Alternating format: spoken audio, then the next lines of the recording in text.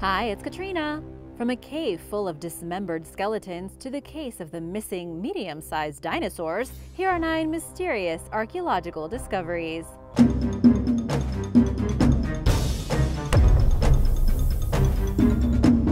Number 9. Rabbits discover artifacts. Archaeologists recently received help from an unlikely group a herd of rabbits, whose burrowing on the remote Welsh island of Skokholm unearthed a trove of prehistoric artifacts dating back to the Stone Age. Situated west of Wales in the Celtic Sea, Skokholm only has two human residents a pair of wardens and seabird experts named Richard Brown and Giselle Eagle, who discovered the archaeological treasures that the rabbits had dug up. They spotted an artifact at the entrance of a burrow near the island's cottage and sent photos to experts on the mainland, who identified it as a Mesolithic tool. Known as a beveled pebble, the item is estimated to be between 6,000 and 9,000 years old. Stone Age hunters likely used it to prepare food, such as shellfish, and or to make boats from seal hides. Although similar tools have been found in Pembrokeshire, Cornwall, and other nearby sites, it's the first time one has appeared on Skokholm. The day after the initial discovery, Brown and Eagle found even more artifacts, including pottery fragments and another tool, in the same place where they found the first one. Jody Deacon, curator of prehistoric archaeology at the National Museum of Wales, identified the pottery as an early Bronze Age burial urn dating back some 3,750 years. Based on the findings, Royal Commission of Wales archaeologist Toby Driver suspects that the cottage was built on top of an early Bronze Age burial mound, which was built over a Middle Stone Age hunter-gatherer settlement. And it's all thanks to the bunnies. These discoveries are all first for the tiny island, which has served as a national nature reserve since 2006. Number 8 a cult that exhumed the dead. When archaeologists first unearthed a collection of flint artifacts at a large Neolithic village in northern Jordan's Zarqa River Valley, they initially suspected that the objects were prehistoric tools. But they were not. Dating back roughly 10,000 years to 7,500 BC, the violin-shaped artifacts appear to be figurines, representing their ancient owner's deceased relatives. They were likely used by an ancestor cult in the ritualistic burial and exhumation of the dead, according to a team of Spanish archaeologists who published a study on the discovery last year. Body parts from some of the seven original burials at the site appear to have been dug up and reburied, coinciding with the idea that the figurines were related to this ritual. The figurines are the only flint artifacts ever found in Jordan that date back to the early Paleolithic or Neolithic periods with other human representations from the time and area having been carved from limestone and ivory. The researchers wrote that the objects reflect a conceptual and artistic revolution that occurred in the Near East as humans transitioned from hunting and gathering to agriculture. This change is reflected in the shift from animals to humans as the primary focus of ancient imagery. Number 7. Extinct Cave Bear Late last year, a group of reindeer herders discovered the frozen carcass of an extinct cave bear high above the Arctic Circle in Siberia's remote Lyakhovsky Islands. They promptly alerted researchers at the Northeastern Federal University, or NEFU, who came to get it so they could study it. The animal died as an adult, probably sometime between 22,000 and 39,500 years ago, and quickly became encased in ice, which kept its nose, teeth, and internal organs remarkably intact into modern times. It's the first wholly preserved specimen scientists have had the opportunity to examine, as only skeletal cave bear remains were found before then. According to experts, the cave bear was an ancient species or subspecies that roamed what is now Europe and Asia, alongside other Ice Age giants, including mammoths, saber-toothed cats, woolly rhinos, and giant ground sloths, before going extinct around 15,000 years ago weighing around 1,300 pounds on average, with the largest specimens tipping the scales at up to 2,200 pounds, fully grown males were considerably larger than modern bears. Scientists must conduct more tests to determine the bear's precise age and hope to obtain a DNA sample for genetic analysis. If possible, they plan to compare the information to the DNA of a frozen cave bear cub that was found around the same time in another patch of permafrost. Number 6. Bull Rock Cave. Located in the Blansko area of South Moravia, Czech Republic, the Bull Rock Cave is famous for its archaeological discoveries. It is part of the country's second longest cave system, and it's shrouded in mystery. In 1872, Czech archaeologist Jindřich Wankel discovered a settlement inside the cave belonging to the Bronze Age Hallstatt culture, which existed from the 12th century BC to the 6th century BC. Wankel also claimed that he found the brutally dismembered skeletons of 40 young women, including some who were beheaded and others with missing limbs. Nearby was a small altar holding severed arm and hand bones hacked off at the elbow and a skull sliced cleanly down the middle. Wankel also found what he believed were the remains of a chariot containing a charred human skeleton. The archaeologist concluded that he had discovered the grave of a Hallstatt nobleman and 40 ritually killed young women, perhaps 40 virgins. But he was woefully mistaken, as later investigations identified 17 of the skeletons as male and determined that the individuals ranged in age from children up to 60 years old.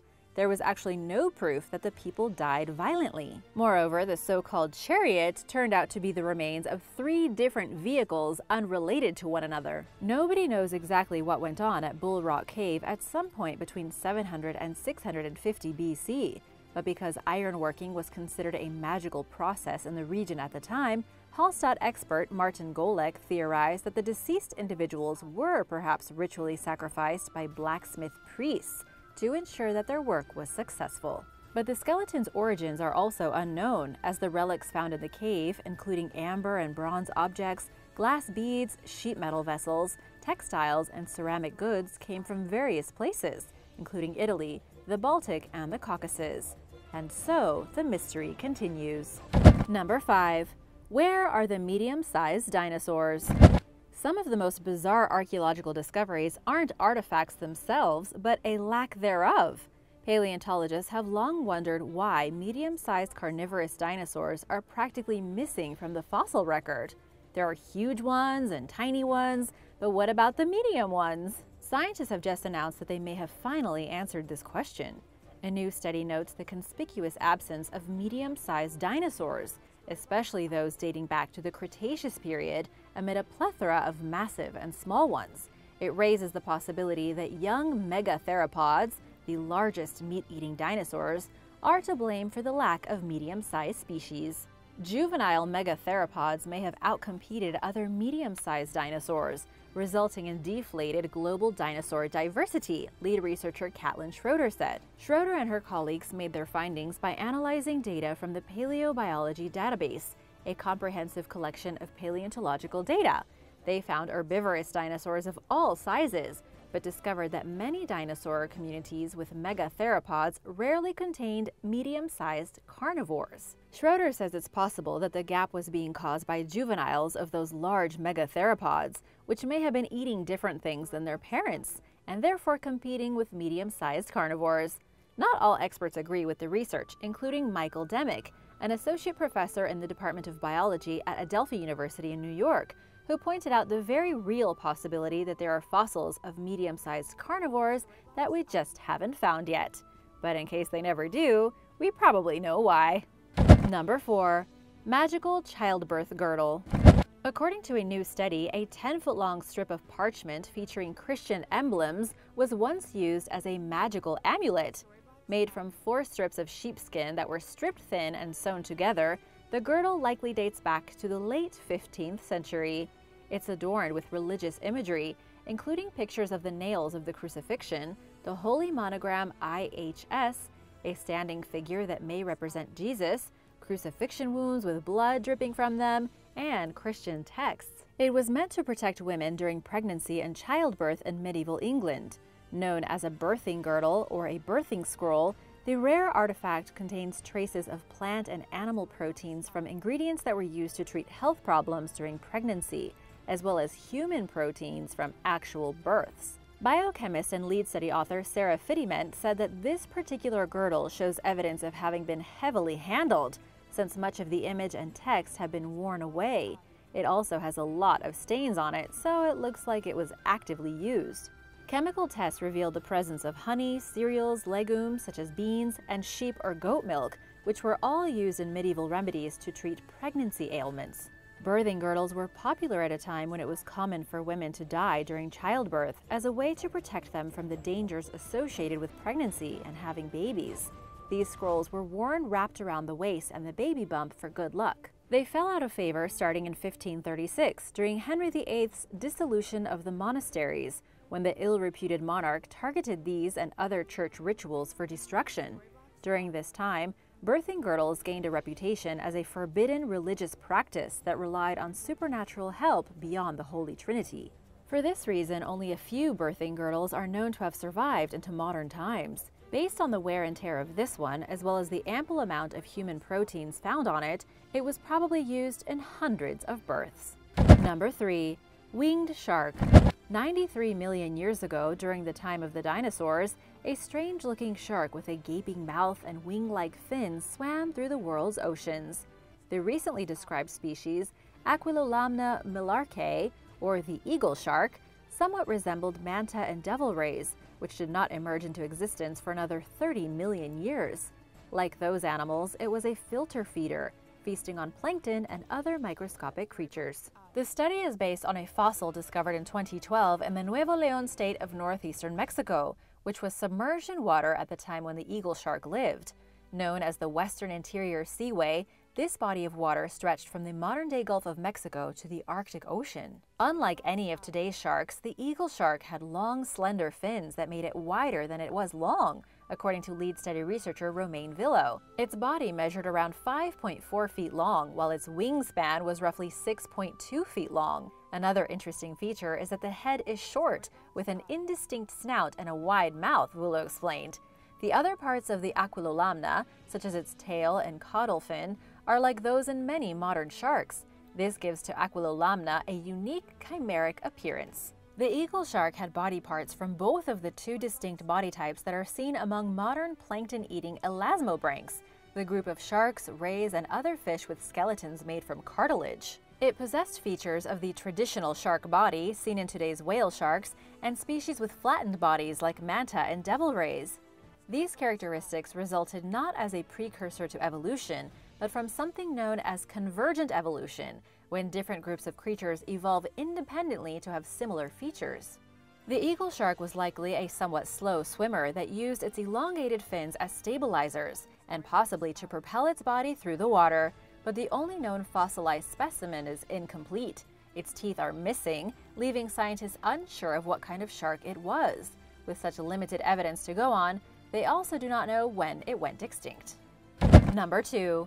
Anti-Vampire Amulet A recently deciphered inscription on a 1600-year-old amulet claims to protect the wearer from flesh-eating and blood-sucking evil spirits, according to a new study by archaeologists. The text is written in Mandaic, the ancient language used by the Mandaeans, an ethnic group that has lived in what is now southern Iraq and Iran for thousands of years. Resembling a long, thin piece of lead when unfolded, the amulet measures roughly 8 inches long and 1.7 inches wide. It was intended for a man named Abiya. The 62-line incantation reads, In the name of life, may there be health to the spirit and soul of Abiya, the son of Mahua. It also calls on the archangel Gabriel to throw down, bind, strike, kill, and fetter the demon and to stop spirits who eat flesh and drink blood from harming Abiya. The amulet is one of three such scrolls purchased by Centre College in Danville, Kentucky in 2009 for $5,000. Because so many artifacts from southern Iraq have been looted in recent decades, its traceable provenance makes it especially valuable, as many journals will not publish research on items lacking proof that they were not stolen. By deciphering the inscription, experts stand to learn more about the Mandaeans' complex religion, which blends elements of several different belief systems. Modern-day Mandaeans still practice some of the age-old traditions of their religion. They are strict non-pacifists who do not believe in using violence under any circumstances, including self-defense, and they ritually immerse themselves in water as a way to purify themselves. Number 1. The Childhood Home of Jesus Archaeologists working in Nazareth in modern-day Israel announced the possible discovery of Jesus Christ's childhood home. Made partially from mortar and stone walls, the modest first-century structure was built into a hillside. Nuns at the Sisters of Nazareth convent first discovered the remains in the 1880s underneath their church, but it was not dated back to Jesus' time until 2006, when archaeologist Ken Dark identified it as a place people believed Christ grew up for centuries following his death. Dark admits that it's unknown whether Jesus actually lived in the modest dwelling, but said it's entirely possible. It's impossible to say on archaeological grounds, he conceded in an article published in Biblical Archaeology Review. On the other hand, there is no good archaeological reason why such an identification should be discounted. After all, the structure was found where Jesus is believed to have grown up, and the site remained protected well into the Byzantine era, when it was decorated with mosaics and a church known as the Church of the Nutrition was built on top. At some point, the site fell into disrepair, and Crusaders fixed it up in the 12th century upon their arrival to the Holy Land. The Nazareth Archaeological Project gained full access to the site in 2006, at which point experts examined previous drawings of the dwelling and reconstructed its development. Inside the home, they found broken cooking pots, a spindle whorl used for spinning thread, and limestone vessels. According to Jewish beliefs, limestone could not be made impure, suggesting that a Jewish family lived in the home. The modest home was abandoned sometime during the first century. Two other first century houses have been identified in Nazareth in recent years, making for just a handful of remains from that time period ever found there. Thanks for watching! Which discovery was your favorite? Mine was the mysterious Bull Rock Caves. Or maybe the Ice Age Bear. I'm not sure. Which one surprised you the most? Let me know in the comments below and remember to hit that subscribe button if you haven't already. See you later. Bye!